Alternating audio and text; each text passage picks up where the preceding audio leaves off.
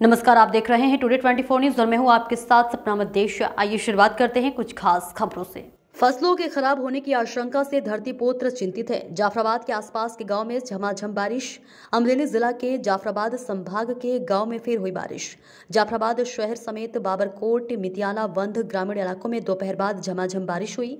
बेमौसम बारिश ने किसानों की बड़ा नुकसान होने के अनुमान है। धरतीपुत्र बारिश के कारण चिंतित है। वही सूखी मछलियों में माइट होने की आशंका से मछुआरे को भी करोड़ों का नुकसान हो सकता है। पेड़ मधुमक्खी के भीग जाने पर बड़ा नुकसान। देखिए अनुषा कनौजिया की ये खास रिपोर्ट।